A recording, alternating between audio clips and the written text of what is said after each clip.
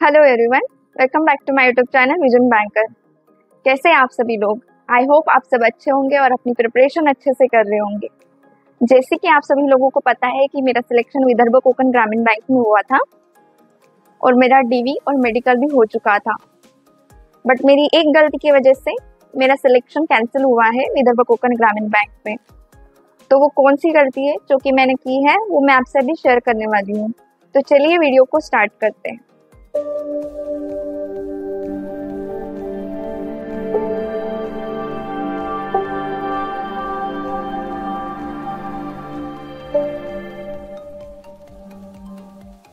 कि जब application form भर रही थी, तब मैंने गलती से अपनी कास्ट कलर डाल दी थी। एक्चुअली मैं एस से बिलोंग करती हूँ और मैंने गलती से एस टी कास्ट डाल दी थी, जो कि एक बहुत बड़ी मिस्टेक थी और ये मिस्टेक मुझे ध्यान में नहीं आई। जब मेरा मेंस का फाइनल रिज़ल्ट आया, तब मुझे ध्यान में आई कि मैंने कास्ट कलर डाल दी है। मेरा सिलेक्शन एस सी हुआ है, जबकि मैं एस से बिलोंग करती हूँ। फिर जिस दिन मेरा डीवी हुआ, उस दिन मैंने ये बात उनसे शेयर की तो उन्होंने मुझे बोला कि आप मुझे मेल कर दीजिए, हम आई से कांटेक्ट करेंगे और उसके बाद आपको बताएँगे। बट उन्होंने ये नहीं बताया कि आपका सिलेक्शन कैंसिल हो जाएगा। उन्होंने बोला कि आपका डीवी कर लेते हैं और आपका मेडिकल भी कर लेते हैं। और बाकी जानकारी हम आपको मेल के थ्रू दे देंगे। बट उन्होंने ये नहीं बोला था कि आपका सिलेक्शन कैंसिल हो सकता है ऐसा कोई उन्होंने ज़िक्र भी नहीं किया था। तो डीवी हुआ था मेरा 6 मार्च को कल थी ट्वेंटी मार्च। जिस दिन मुझे मेल रिसीव हुआ विदर्भ कोकण ग्रामीण बैंक से उनकी तरफ़ से मुझे एक लेटर रिसीव हुआ। तो उन्होंने उस, उसमें लिखा था कि हमने आईबीपीएस से कांटेक्ट किया और आईबीपीएस ने हमें सॉल्यूशन दिया है। तो उसमें बहुत सारे कुछ पॉइंट्स लिखे थे कि आपका सिलेक्शन अनरिजर्व कैटेगरी में होने के बाद भी अगर आपका कास्ट आपने जो फॉर्म में फिल की है, अगर उसका कास्ट सर्टिफिकेट आप प्रोवाइड नहीं करते हो तो आपको कैंसिल मतलब आपका सिलेक्शन कैंसिल कर सकते हैं। ऐसा उन्होंने लिखा था। लास्ट में उन्होंने उस लेटर में लिखा था कि हमने डिसाइड किया है कि हम आपका सिलेक्शन कैंसिल करते हैं हमारे बैंक से। और बस ये लिख के उन्होंने लेटर भेज दिया था। तो ये गलती थी मेरी कि मैंने गलती से कास्ट गलत डाल दी थी।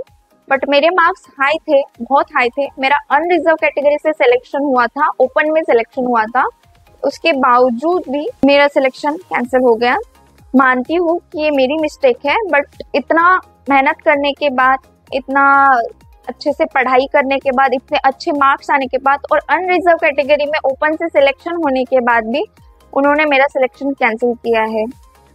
तो अब मैं उनको तो दोष नहीं दे सकती हूँ। और वैसे भी मेरा सिलेक्शन एसबीआई में हुआ है। तो वैसे भी मैं वहाँ पे ज्वाइन नहीं करने वाली थी। तो उन्हीं की तरफ़ से कल मेल आ गया कि हम आपका सिलेक्शन कैंसिल करते तो वो भी मेरे लिए कोई बुरी बात नहीं है। बट हाँ कि मैंने गलती की है। तो अगर मेरा एसबीआई में नहीं होता तो मुझे बहुत पछताना पड़ता था।